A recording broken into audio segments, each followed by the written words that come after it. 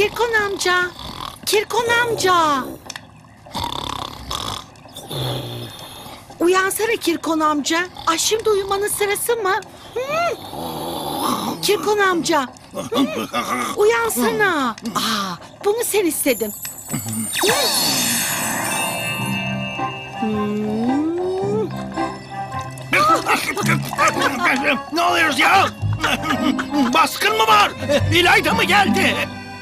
Kirkon amca. Öğrenciler yok. Okul bomboş. Öğrenciler mi?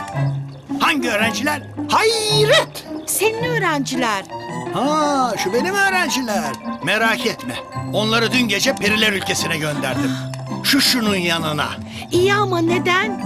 Moralleri düzelene kadar birkaç gün derslere ara verdim. Aslında en iyisini yapmışsın.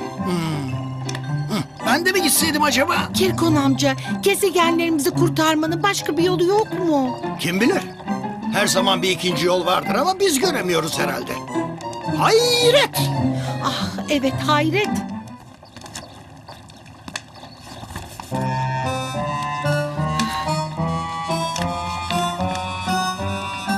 Ay Kirkon amca ne dolanıp duruyorsun başım döndü. Keçi, keçimi gördün mü Kukina? Sabahları çilekli süt içmezsem kafam çalışmaz. Ne zaman çalıştı ki? Ay Kirkon amca sütün sırası mı şimdi? Ben bir çare bulalım diyorum sen keçi diyorsun. Keçi mi? Ne keçisi? Hayret!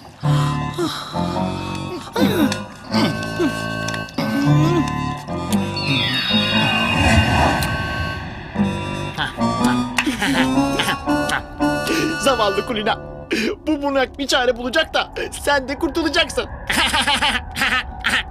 Dalga geçmeyi bırak sünger kafa. Sen bizim halimize bak.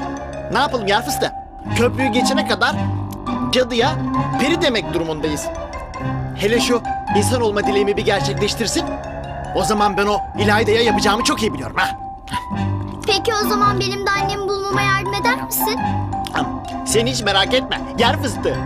İsteğimi bir elime geçireyim. Hah.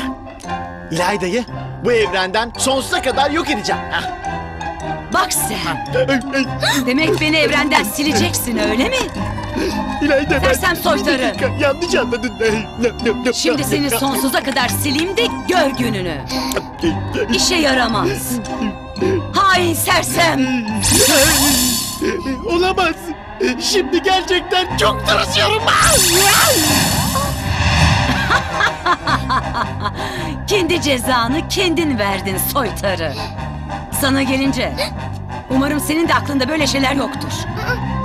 Yoksa anneni bir daha hayatta göremezsin.